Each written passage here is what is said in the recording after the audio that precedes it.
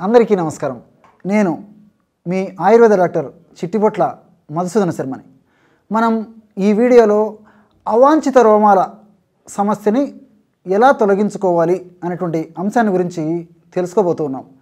మరి ఈ రోజుల్లో అవాంఛిత రోమాల సమస్య మహిళల్లో యువతుల్లో అదేవిధంగా బయస్లో ఆగిపోయినటువంటి వాళ్ళలో కూడా విపరీతంగా రావడం ఆధునిక కృత్రిమ జీవితం పుణ్యమని జరుగుతూ ఉంది మరి ఈ అవాంఛిత రోమాలు ముఖం పైన అదేవిధంగా గడ్డం పైన చేతులు కాళ్ళపైన వచ్చి స్త్రీలను మాతృమూర్తులను చాలా మానసిక వ్యధకు గురి చేస్తుంటాయి. మరి ఈ పరిస్థితి ఉన్నప్పుడు మహిళలు మాతృమూర్తులు స్త్రీలు పది మందిలోకి కలవాలన్నా ఒక కార్యక్రమంలో పాల్గొనాలన్నా పది మందితో మాట్లాడాలన్నా మరి ఏదైనా ఫంక్షన్స్కి అటెండ్ కావాలన్నా ఎక్కడి పాలన మానసికంగా చాలా కుంగిపోయేటువంటి పరిస్థితి ఈ అవాంఛిత రోమాల వల్ల కలుగుతూ ఉంటుంది. మరి ఈ అవాంఛిత రోమాలకు కారణాల గురించి మనం ఆలోచించినట్లయితే కొంతమందికి వంశపారంపర్యంగా వస్తూ ఉంటుంది. అంటే తల్లి అదేవిధంగా తల్లి తల్లి అవ్వగారు ఇట్లా వంశంలో కుటుంబంలో మహిళలకు ఉన్నప్పుడు పిల్లలకు వచ్చేటువంటి అవకాశం ఉంటుంది.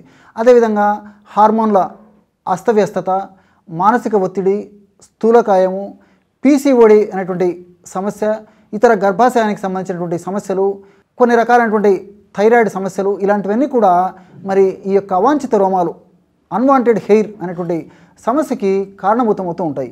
మరి ఈ సమస్య వచ్చినప్పుడు వాళ్ళు పడేటువంటి బాధ వర్ణాతీతం. ఎంత డబ్బు ఖర్చు పెట్టడానికి కూడా వెనుకాడనటువంటి పరిస్థితి ఈరోజు నాగరిక సమాజంలో మహిళా మనులో ఉంది.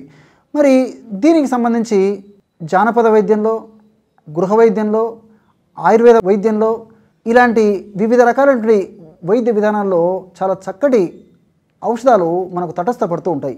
మరి ఇక్కడ మీరందరూ తెలుసుకోవాల్సినటువంటి అంశం ఏంటంటే అవాంఛిత రోమాలు లేదా అన్వాంటెడ్ హెయిర్ అనేటువంటి సమస్య ఉన్నప్పుడు మొట్టమొదట కారణాన్ని అన్వేషించాలి. అసలు ఈ అవాంఛిత రోమాలు లేదా అన్వాంటెడ్ హెయిర్స్ ఎందుకు వస్తున్నాయని ఆ కారణాన్ని మనం కరెక్ట్గా కనుక్కోగలిగి కారణాన్ని తెలుసుకోగలిగి కారణానుగత చికిత్స తీసుకున్నప్పుడు సఫలీకృతమైనటువంటి అంశాలు కూడా అంటే సక్సెస్ రేట్స్ కూడా చాలా అద్భుతంగా తృప్తికరంగా ఉంటాయి. కానీ కొంతమందిలో దురదృష్టవశాత్తు కారణాలు స్పష్టంగా చెప్పలేనటువంటి పరిస్థితి కూడా కొంతమందిలో కలుగుతూ ఉంటుంది. మరి పరీక్షలు అన్నీ చేయించుకుంటారు. కొంతమందిలో అయితే పలాని కారణం అని తెలుస్తుంది కాబట్టి దానికి సంబంధించినటువంటి చికిత్స తీసుకుంటే దాంతోపాటు అవాంఛిత రోమాలకు సంబంధించినటువంటి చికిత్స తీసుకోవడం వల్ల వెంటనే వాళ్ళకి ఉపశమనం కలుగుతుంది. కొంతమందికి ఎలాంటి స్పష్టమైనటువంటి కారణం కూడా ఉండదు.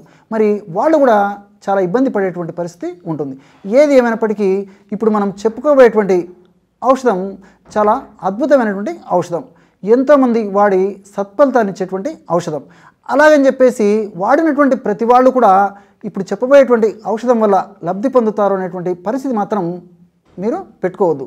ఇంతకుముందే చెప్పినట్టు రకరకాలైనటువంటి ఔషధాలు వారి వారి శరీరతత్వాన్ని బట్టి వారి యొక్క వ్యాధి ఉధృతను బట్టి వాళ్ళ యొక్క మానసిక స్థితిగతిని బట్టి వాళ్ళు ఔషధాన్ని వాడేటువంటి విధానాన్ని బట్టి ఇతర ఉపద్రవాలను బట్టి ఇతర అనుబంధ లక్షణాలను బట్టి కూడా ఇప్పుడు మనం చెప్పుకోబోయేటువంటి ఇలా గృహ వైద్యాలు ఉపయోగపడుతుంటాయి. కాబట్టి ఇప్పుడు మనం చెప్పుకోబోయేటువంటి వైద్యాన్ని తప్పకుండా ప్రయత్నం చేయండి.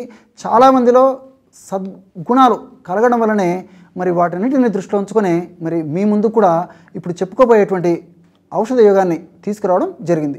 కాబట్టి తప్పకుండా ప్రయత్నించదగ్గ దివ్యమైనటువంటి ఔషధం ఏంటంటే ఆ ఔషధం తయారీకి కావలసినటువంటి పదార్థాలు రెండు.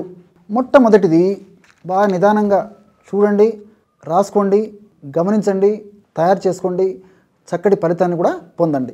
యవక్షారం బాగా నిదానంగా రాసుకోండి. యవ క్షారం ఈ యవక్షారము ఇలా పలకల రూపంలో మనకు మార్కెట్లో సర్వసాధారణంగా విక్రయిస్తూ ఉంటారు. అట్లే యవక్షారం చూర్ణాన్ని కూడా ఈ రూపంలో విక్రయిస్తుంటారు లేదంటే ఆ పలకల రూపంలో ఉన్నటువంటి యవక్షారాన్ని తెచ్చుకొని చిన్న చిన్న ముక్కలుగా చేసేసి మిక్సీలో వేస్తే కూడా ఇలాగా తయారైపోతుంది అనమాట యవక్షారం. రెండవ పదార్థం ఆవ నూనె. మస్టర్డ్ ఆయిల్ అనేటువంటి పేరుతో పిలుస్తుంటారు. పచ్చళ్ళ తయారీలో ముఖ్యంగా వాడుతుంటారు. ఉత్తర భారతదేశంలో మరి మనం ఏ విధంగా అయితే ఈ వేరుశనగ నూనె నువ్వుల నూనె కుసుమ నూనె ప్రొద్దుతిరుడు నూనె ఆహార పదార్థాల తయారీలో వాడతామో ఉత్తర భారతదేశంలో ఈ ఆవనను సర్వసాధారణంగా వాళ్ళు ఆహార పదార్థంగా ఖాద్య తైలంగా వాడుతూ ఉంటారు అనమాట ఆవ నూనె. మరి ఈ రెండు పదార్థాలు మనం దగ్గర ఉంచుకుంటే అవాంఛిత రోమాలకి చక్కటి ఔషధాన్ని మనం తయారు చేసుకోవచ్చు. మరి ఔషధాన్ని ఎలా తయారు చేసుకోవాలంటే తగినంత యువక్షారం చూర్ణం తీసుకోండి. మీకు సమస్య ఎక్కువగా ఉంటే చూర్ణాన్ని ఎక్కువ తీసుకోండి. సమస్య కొద్దిగా ఉంటే ఈ యొక్క చూర్ణాన్ని కొద్దిగా తీసుకుంటే సరిపోతుంది. ఇందులో తగినంత ఆవ నూనె కలిపేసేయాలి ఇంతే. చూశారు కదా? మీకు ఎంత అవసరమైతే అంత. అంటే లేపన ద్రవ్యంగా మనం వాడుకుంటాం కాబట్టి లేపనానికి ఎంత అవసరమైతే అంత ప్రమాణం మాత్రమే ఈ యొక్క ఆవ నూనెను కలిపేసేయాలన్నమాట. కాబట్టి చూసుకొని కలుపుకోవాలి. మొట్టమొదట యవక్షార చూర్ణాన్ని తీసుకోవాలి. ఆ యవక్షార చూర్ణంలో మనకు ఎంత అవసరమైతే అంత ఆవ నూనెను కలిపేసేయాలన్నమాట.